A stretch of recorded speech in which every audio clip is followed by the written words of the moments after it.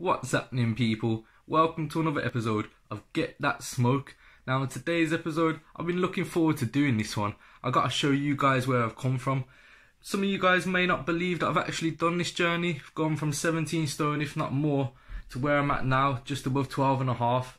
12 stone, 8 pounds, so we're just above that 12 and a half mark. But we're getting there, people. Look, here we are. You can't slack. Can't say we don't put in that work because that's what we're doing. We're trying little flex for you guys. That's how we're doing it. But on today's, like I said, going to show the transformation of where I've come from. It's not quite how I wanted to do it. I wanted to be able to have the video editing equipment and all that for my laptop. Um, so I could actually have myself still on screen, still talking to you guys through the whole thing while I show you the pictures. I'll still be able to talk, um, but I just won't be on screen, so you might have to miss me. Um, don't get used to the old me. You can't be doing that. No one wants the old me, believe me. No one wants the old me. but just a little sneak preview before I get in. You know, this is why I was looking. This is how I was looking. Oof, oof! Look at that. You don't want that guy. You don't want that guy. You want this, Jimmy. You want me. This is how we're doing it. Get that smoke. 17 stone down to 12 and a half. We're still going, trying to get to 11. Stay on the journey, people. Stay watching the journey. And please join me on it. I'd love to hear from you guys. I know I have heard from a few people in the past. I'd love to hear from you guys. Always feel free to message me, drop a comment, all of that. And I'll always get back to you. Any help you need, I'm there, guys. I'm here for myself, but I'm putting this out there for you guys as well. If you want to join me on the journey, feel free. Just do what you're doing, crack on with it, put in that work. And if you need any help or you want to message me just for a bit of back and forth support, feel free to do so. I'm always here. But let's get on with the slideshow. Check this out, people. You might be flabbergasted. You may be blown away.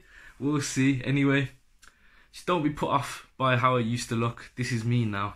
So still support the channel. Follow us, guys. Get that smoke. Anyway, no more talking. I'll let you guys see this. So here you can see people. This is me at 16. Not looking too bad. In decent shape. I was still going gym. Still working out pretty consistently. But then gradually I got lazy and started to put on the pounds here, as you can see, trying to hide the belly in the shirt. And it's just not happening, is it? Look at the state of me. This is meant to be me on a night out about to go out. But predominantly in this slideshow, just focus on my face. That's all you're really going to see anyway, because I never took pictures with my body in them back then. But wow, look, look like an ogre. Bloody hell. This is embarrassing. Like, it's actually crazy looking back at these pictures. Like, just look at the bottom two there. This whole stage of my life, I just looked like a hobo. Someone needed to slap me and just send me to the gym. Like, just sponsor me a month's gym membership and just tell me to go. Like, here's the definition. This one. Definition of the hobo stage. Hair, beard, face. Absolute mess. Just crazy. It's absolutely crazy. I can't believe that I actually looked like this. And I didn't think there was much wrong with me at the time. Like, I don't know what I was thinking. But here is where I gradually was starting to get back into the gym and uh, try to, well, here you can see, only one without a female anyway. So no one wanted that geezer, let's be honest. But um, gradually getting back into the gym and trying, well, I don't know what I was trying to do because I was still eating shit and I was uh, mainly just lifting weights when really I should have been smashing that cardio every single day. That's what I needed to do, like I am now. Because I was thinking, oh yeah, Mr. Big Man, lifting some weights, but really I was only a big man because of my belly. When I needed to smash the cardio, shed them pounds, and just completely just smash it like I have been starting here. This is the start of the lockdown, and this is when I was actually putting in that work. As you can see, back in the vests then, showing off my progress, them gains, slowly getting on it. Here my guy Ant, we done a little garden workout, finished off with a spa, and then my guy C4 came through, same again, garden workouts, jogging, all of that, and Levs, big man. That's what we were doing.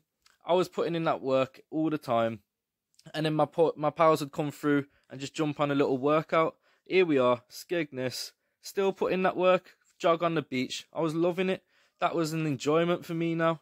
Anyway, just chilling. Late night jogs as well. Like I said, I train twice a day generally when I ain't got my kids. Gym in the day, flexing here, and then jogs on the night because my gym's shutting at 9 while this coronavirus is still going on.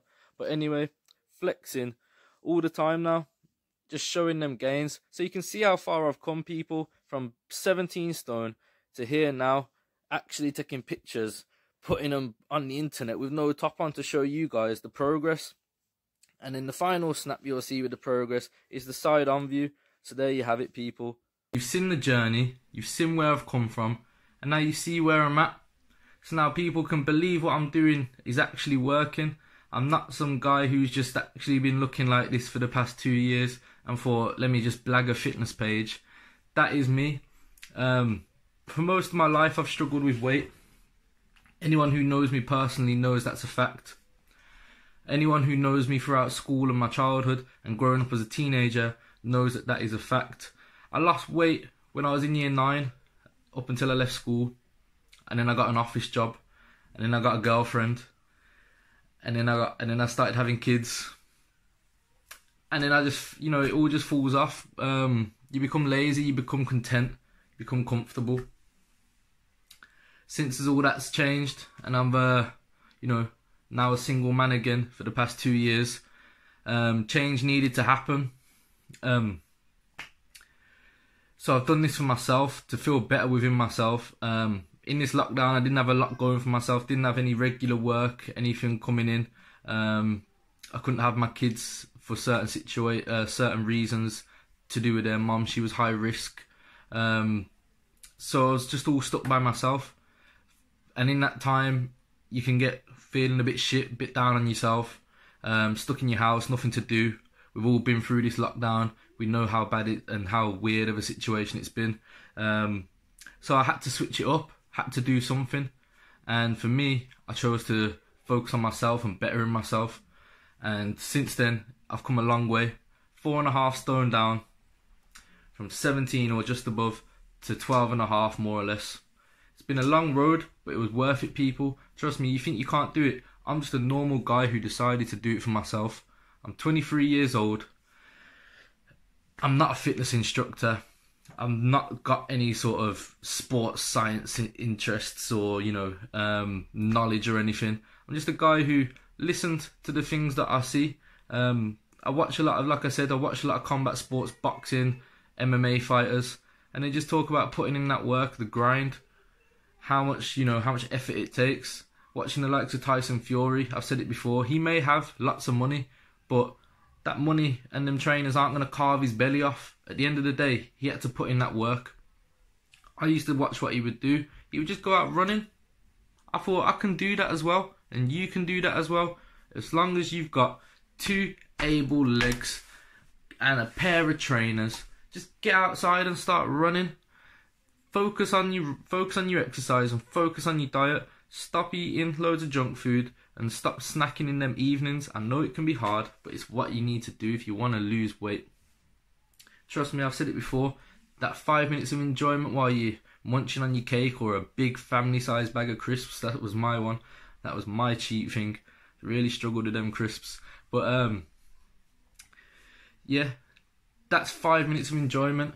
Think about fitting into a medium sized top if you're a XL right now. Think about it. How good would you feel? Go look in your wardrobe and see if you got any old clothes you used to love. Think about how great it would feel if you could wear that again on a night out or for a fancy meal or anything.